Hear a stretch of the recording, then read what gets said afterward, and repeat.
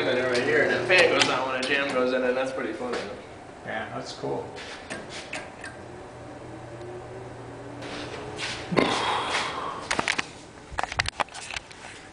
So yeah, this is my contraption here.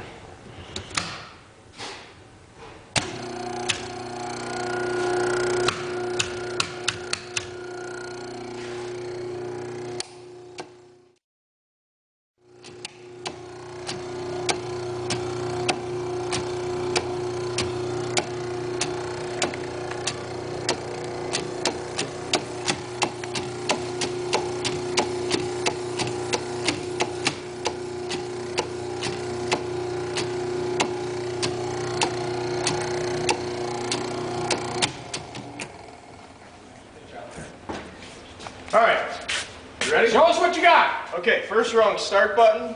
I got a delay, a start delay timer, so right. you hold this button in, and it delays for a second. The It's down there. The amber light's right down here. All right, good. Basically, when the green light goes on, the amber light goes off.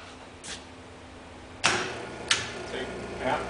Um, What's that rubber band? that is generating power, as you can see. That's just a little DC motor right there.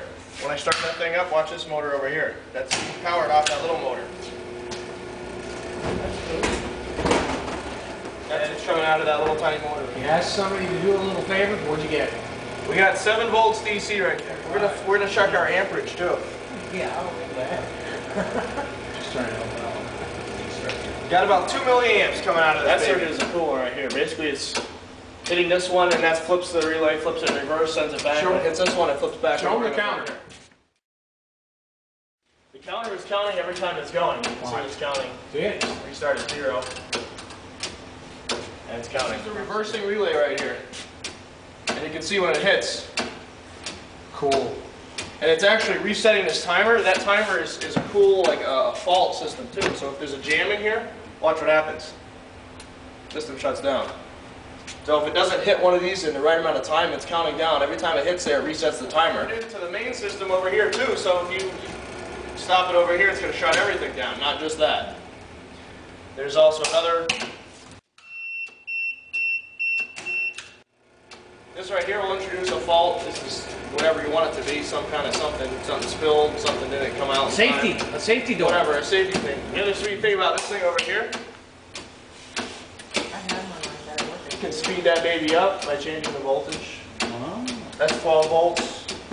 That's 9, 7.5, 6. Now that'll time out if I go any lower because it's going to move so slow that it's, it's going to shut the system down. See? Yeah. It didn't have, it didn't make it over there in time. That's pretty cool. So it's almost like, um, You don't want to tear it's almost like somebody, okay, you know, somebody's diving in the water and you sit there and wait for them to come back up and if they don't pop up at a certain time, you go in after them. Or you let 'em drown. Or you let, sure, or you let all the water out or whatever, you know, you can make this into whatever you want it to be. Um, so, Or you give them miles to miles after they do come off. this, this right, this here alarm is, I didn't have another 12 volt output, so that's why it, it only runs when that's on to start the system up. Up. So basically, that's in, in a typical system like over UPS, we have our conveyor belts. You hit the button in it. You'll hit the button in. It'll alert somebody that the belt's gonna turn on in like three seconds or whatever the time is set for. I can set that whatever I want based on this timer. I got something else that's pretty cool too. I'm faking it out. I'm, I'm making it think that when it leaves that one, it's already over here. So then it just sends it back. of course, if I hit this one, it's gonna stay going that way. Thing right here is, the, is a proximity sensor that you can see, you can put almost anything in front of it and it's gonna, you know, set it off. Now watch this. I can, right from the computer, do some programming here. Catch them? Nope, never caught Check this out. I'm not touching any buttons over there, I'm just playing around with the computer right now. Turn that to one.